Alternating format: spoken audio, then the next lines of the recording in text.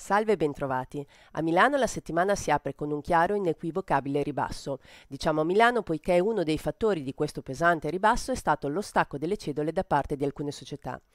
Nello specifico il FTSE MIB ha perso l'1,29% con un trend discendente sin dalle prime ore, che ha riportato l'indice sui 24.350, vanificando dunque la stragrande maggioranza dei progressi di venerdì.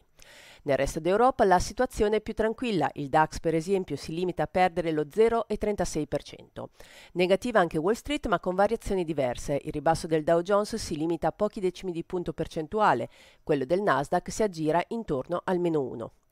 Il passivo peggiore di oggi è, eh, a Piazza Affari e appartiene a uno di quei titoli colpiti dai dividendi. Stiamo parlando di Mediobanca che ha perso quasi 7 punti e mezzo.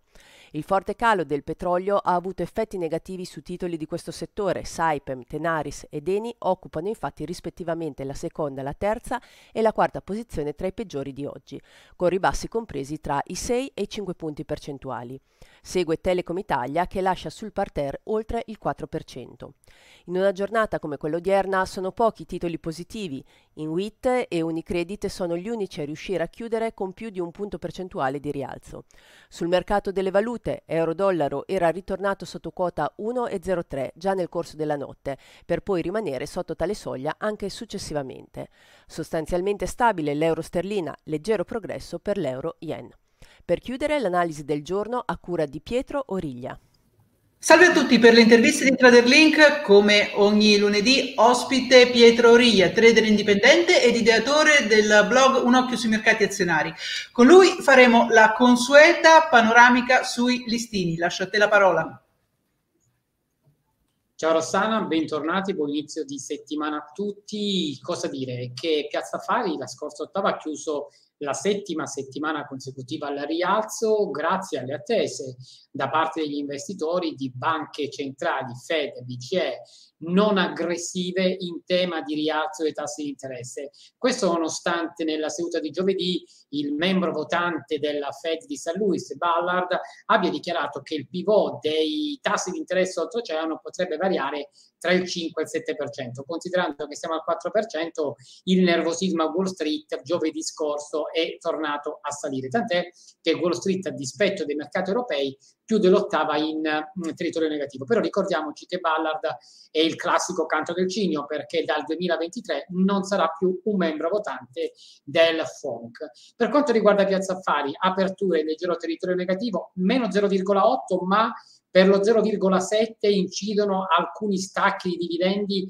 di sette importanti società, tra cui abbiamo anche Mediobanca, Poste Italiane, quindi un trend che rimane chiaramente al rialzo. In questo contesto discese anche verso area 24.000, 23.450 non cambierebbe il trend primario, ma verrebbero utilizzate per scaricare gli indicatori e tornare nuovamente a risalire. Ma vediamo in questo contesto quali sono i titoli interessanti perché il settore bancario continua a guidare questo rally. Tra questi troviamo il Banco BPM e trend rialzista ormai in atto fin da luglio, prezzi che oggi si confermano sopra i top di giugno 3,25 e attenzione perché una conferma sopra questi livelli aprirebbero target ambiziosi, ovvero i top del 2022 3,70, 3,75, debolezze verso area 3,05, 3,10 occasioni d'acquisto. Uguale il titolo Unicredit, anche qui forte relativa importante, un titolo che prosegue il suo trend eh, ascendente fin dal mese di luglio,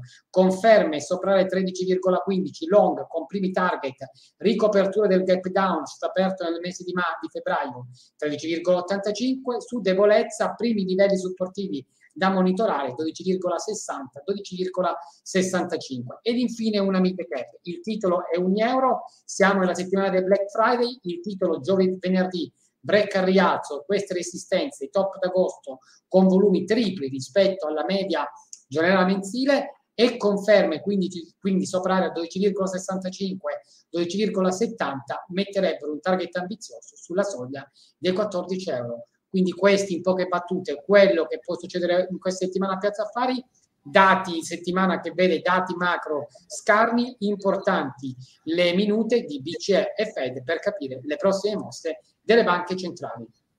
Perfetto Pietro, io ti ringrazio per tutte le informazioni, con te rimando l'appuntamento alla prossima volta. Grazie a te Rossana, buona giornata, buon trading, a lunedì prossimo. È tutto, si chiude così l'appuntamento di oggi, vi auguro una buona serata, arrivederci a domani.